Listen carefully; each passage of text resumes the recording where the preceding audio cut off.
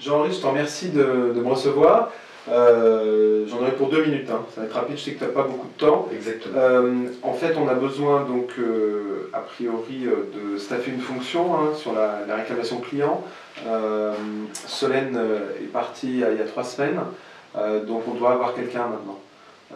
on en a vraiment besoin Oui, en fait, tu sais, le, problème c'est que le, le, coût d'avoir personne à cette fonction-là, on l'avait évalué à peu près 20 000 euros par mois de perte en chiffre d'affaires et finalement en marge, parce que euh, on avait vu qu'en termes de fidélisation client, on perdait 10 points si on ne traitait pas bien les réclamations clients, si on les traitait juste par mail euh, sous 48 euh, heures. Alors qu'avoir quelqu'un sur le poste, ça nous a permis de gagner ces 10 points de fidélisation client et donc rapporter les 20 000 euros par mois. Donc oui, on en a vraiment besoin. Et on ne pourrait pas faire autrement?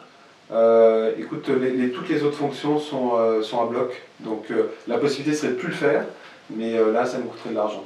Donc a priori, euh, personne d'autre ne pourrait avoir cette fonction-là, ou alors il faudrait de toute façon recruter quelqu'un.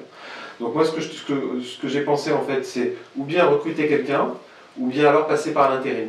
C'est au choix. Alors les avantages de, recruter quelqu'un, ça veut dire qu'on va être plus sur la durée. Hein, on est sûr qu'on va avoir quelqu'un de, bien. Et en même temps, l'intérim, bah, ça gagne du temps aussi en recrutement. Euh, parce qu'on peut avoir quelqu'un très rapidement. et puis ça nous évite de faire plus un dans l'effectif quand même. Hein, euh, ah oui, peut-être. aussi. Et on ne pourrait pas externaliser carrément. Alors on y a pensé, on y a pensé externaliser, ça nous coûte 8000 euros par mois avec un prestataire et ce sera un peu moins bien fait. négocier. C'était négocié hein, déjà, c'était négocié par la maison mère. Donc euh, a priori euh, l'externalisation nous coûtera plus cher. Donc moi ce que je te recommande aujourd'hui c'est ou bien un recrutement ou bien l'intérim. Euh, est-ce que tu préfères, tu préfères lequel?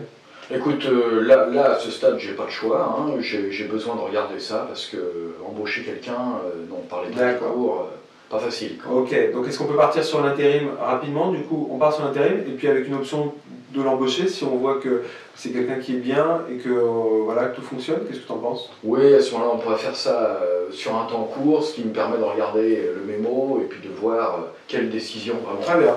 Donc je te donne le mémo avec le coût et tous les avantages que tu as, devant. et donc on part sur une intérimaire. On a déjà une personne qui est identifiée. Oh, très bien. Je te remercie, hein, vraiment, je te remercie de ton soutien et, ton aide hein, sur le sujet. Allez, je te laisse, je sais que tu as beaucoup de choses à faire. Merci. Merci.